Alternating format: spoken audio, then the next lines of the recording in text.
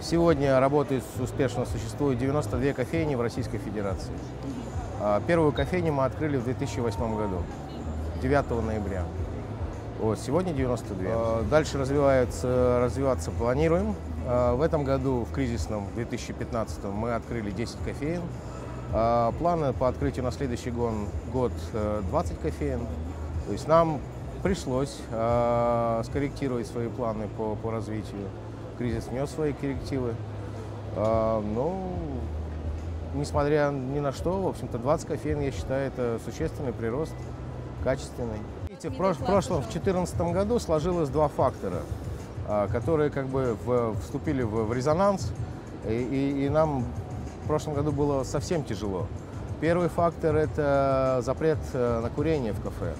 А чашечка кофе и сигарета, извините, э, это, в общем-то, традиция. А, 1 июня запретили курить во всех каф- кафетериях, во всех кофейнях. Ну а потом начался, в общем-то, кризис. А, Мы а, владеем правом на австрийский бренд. А, Это значит, что сырье и большую часть продукции мы завозили из Европы. Соответственно, в, в конце прошлого года, 2014 нам пришлось, мы столкнулись с резким ростом э, цен в рублях на это сырье. Нам пришлось, в общем-то, довольно-таки большие усилия приложить для того, чтобы э- э- эти внешние факторы э, компенсировать. Ну, первое, что мы сделали, мы взяли финансовые риски на себя. Там, буквально 11 ноября я написал нашим партнерам письмо, в котором сказал, что, господа, на ближайшие два месяца мы фиксируем курс евро на уровне 50.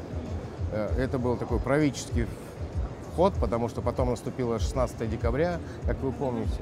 А, Мы воспользовались товарными запасами, в общем-то, отпускали нашим франчайзи продукцию по фиксированному курсу евро. А В этот период э, вели переговоры с нашими поставщиками, и нам удалось с ними договориться. И, в общем-то, э, с 1 января мы нашим партнерам снизили отпускные цены э, в евро. Мало того, мы зафиксировали, большинство позиций мы перевели в рублевые цены. Что касается кофе, здесь, к сожалению, а, на российских поставщиков невозможно перейти, потому что кофе это э, наше все.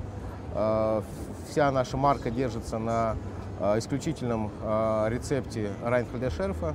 Соответственно, он будет жарить кофе в Австрии. Это э, секрет его семьи. Э, но здесь э, нам удалось с Райнхольдом Шерфом э, найти точки соприкосновения и получить значительные дисконты и скидки в связи- с, э, с ростом курса евро. С конкурентами мы живем, существуем, конечно, боремся, используя все э, легальные, законные, корректные, в общем-то, бизнес-стратегии. Но нам попроще конкурировать, потому что у нас сам продукт, в общем-то, он выделяется э, своим качеством, своим подходом, подачей.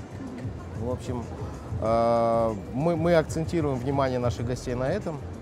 Относительно э, российских э, сетей, которые представлены массово в, Российской Федерации, мы выделяемся тем, что мы европейский бренд, ну, в общем-то, качеством. Принципиально отличаемся качеством основного напитка.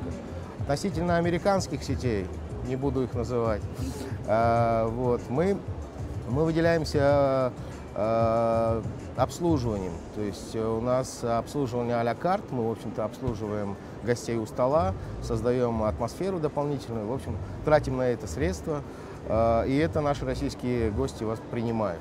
Если вы хотите подробнее узнать о франшизе Coffee Shop Company, ищите ее на Bibos.